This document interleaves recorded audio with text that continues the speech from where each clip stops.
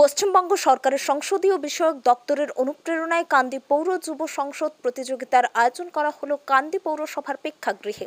এই অনুষ্ঠানে উপস্থিত ছিলেন কান্দি বিধানসভার বিধায়ক অপূর্ব সরকার, কান্দি পৌরসভার পৌরপিতা জয়দেব ঘটক, অবর বিদ্যালয় পরিদর্শক গোবিন্দ রায়, একাধিক পৌর সদস্য সদস্যা, বিদ্যালয়ের প্রধান শিক্ষক সহ একাধিক শিক্ষক, শিক্ষিকাবৃন্দ ও ছাত্রছাত্রীরা। এলাকার ছাত্রছাত্রীদের মধ্যে লোকসভা ও বিধানসভার কার্যক্রম তার ধারণা দিতে এই উদ্যোগ গ্রহণ করা হয়েছে। কান্দি পৌরসভার নয়টি স্কুল এই যুব সংসদ প্রতিযোগিতায় অংশগ্রহণ করে। Shovan Banerjee report, NTV WB মাননীয় মুখ্যমন্ত্রী মমতা ব্যানার্জির উদ্যোগেই, মূলত পশ্চিমবঙ্গ সরকারের উদ্যোগেই, ছাত্র সমাজ এবং ছাত্রী সমাজের কাছে জনপ্রতিনিধি যে পার্লামেন্টে এবং বিধানসভায় যায়, ভারতবর্ষ যেহেতু গণতান্ত্রিক একটা দেশ, সেই দেশের যাতে ছাত্রদের মধ্যেও যে সঠিকভাবে শিক্ষিত মানুষরা যাতে জনপ্রতিনিধি হয়ে আগামী দিনে বিধানসভা লোকসভাগুলোতে আসুক এই বিষয়টাতেই ছাত্রছাত্রী উদ্বুদ্ধ করার জন্যই এই মক পার্লামেন্টের আয়োজন করা হয়েছে পৌরসভার পক্ষ থেকে।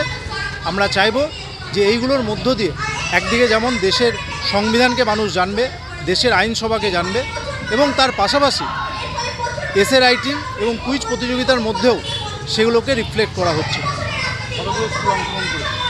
আজকে পাঁচটা স্কুল অংশগ্রহণ করেছে কালকে আরও চারটে স্কুল অংশগ্রহণ টোটাল নটা স্কুল কান্দি পৌরসভার অন্তর্গত। মানে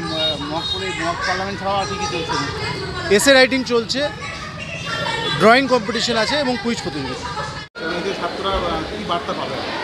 হচ্ছে?